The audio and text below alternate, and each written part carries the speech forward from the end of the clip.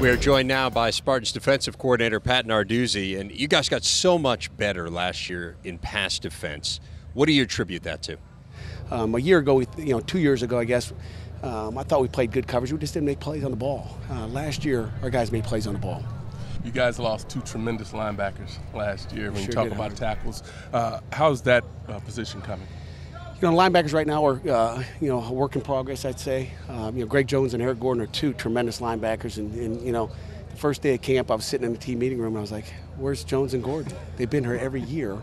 And you really, that was when it really hit me. It didn't hit me draft day or any other day. It hit me when we're sitting in team meeting and all of a sudden, you know, they aren't in the front row anymore.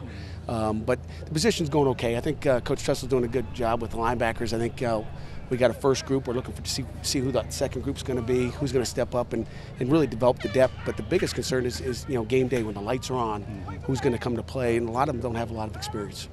Pat Narduzzi, defensive coordinator. Thanks a lot, Coach. Thank you guys.